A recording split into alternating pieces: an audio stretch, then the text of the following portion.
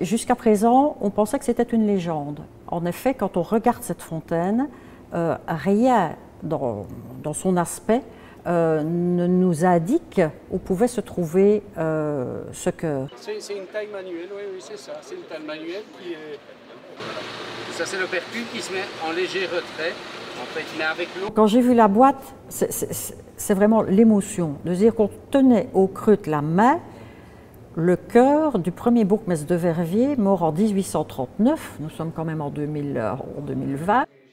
Il était bien certifié dans les documents d'époque qu'il avait été retiré, conservé et bien placé en grande pompe dans cette fontaine. Mais jusqu'à présent, voilà, la réalité s'était transformée en légende. Maintenant, ça redevient une réalité.